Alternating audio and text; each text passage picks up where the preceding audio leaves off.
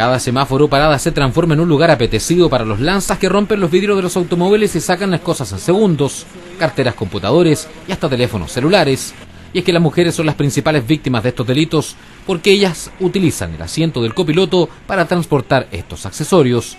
Para evitar estos hechos, Carabineros inició a lo largo del país una campaña informativa que este viernes se inició en San Antonio con la entrega de folletos a los conductores. Esta campaña es para eh, inducir a la gente, a las mujeres especialmente, a que no mantengan cosas de valor en el vehículo, en el asiento del costado, ya sean bolsos, notebook, cartera, eh, los regalos de Navidad, ahora que viene la Navidad, ya que los, eh, los delincuentes se tientan y en cada semáforo paran y, al ver las cosas de valor quebran los vidrios y sacan las cosas importantes. El folleto informativo entrega una serie de recomendaciones que deben tenerse en cuenta.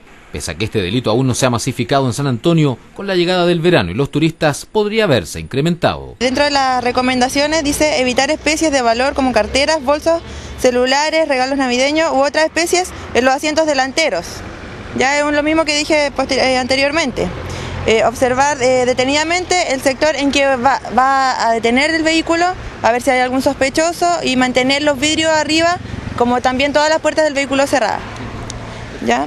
Y eh, no recoger a personas en, en, cualquier parte, personas desconocidas y trasladarlas. Recomendaciones que deben tenerse en cuenta y que a la hora de viajar en vehículo no deben descuidarse. Prevenir es mejor que lamentar.